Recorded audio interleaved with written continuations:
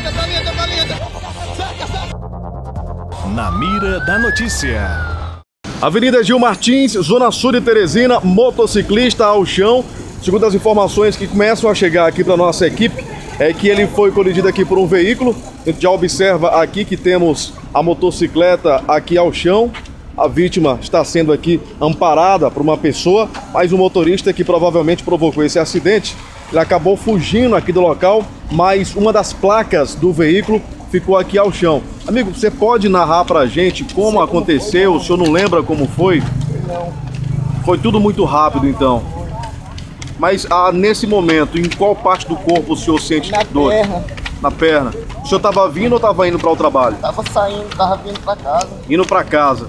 De repente já foi é, sentindo aí que foi colidido por um carro. A gente observa que ele está tremendo, inclusive, com susto, né? Com nervosismo é, desse acidente que ele acabou sendo vítima. Ele vinha aqui nessa motocicleta. O acidente aconteceu aqui na Avenida Gil Martins. É, você tem informações sabe do que teria não. acontecido? Como foi? Não, eu tava, na, eu tava ali na, na farmácia. O senhor estava na É, farmácia. o que a gente tá precisando mesmo é que o Samuel apareça. Já tá com mais de 20 minutos que ele tá aqui. Mais de 20 minutos. Ah, mais de 20 minutos. E até agora nada de Não resposta. apareceu ninguém. Qual o nome do senhor? Ah, O senhor tem qual idade? 24. Que o Alisson de 24 anos de idade. E aqui o veículo que provavelmente aqui provocou esse acidente. Olha aqui, uma das placas ficou aqui. PIM 1795.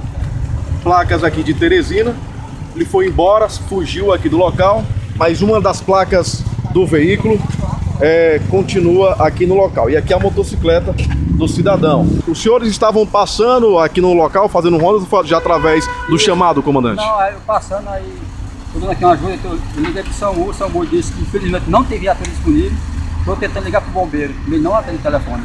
Comandante, como é que o motorista que supostamente provocou esse acidente, ele acabou fugindo do local e a placa já foi ficou, uma das placas caiu e ficou aqui no local. Isso já facilita mais ainda para que a sua equipe possa conseguir localizar esse motorista a, a- nos próximos minutos. É verdade, quando a moto se encontra no local é, e a placa do veículo que já disse ficou, é possível fazer a perícia e com certeza localizar o proprietário.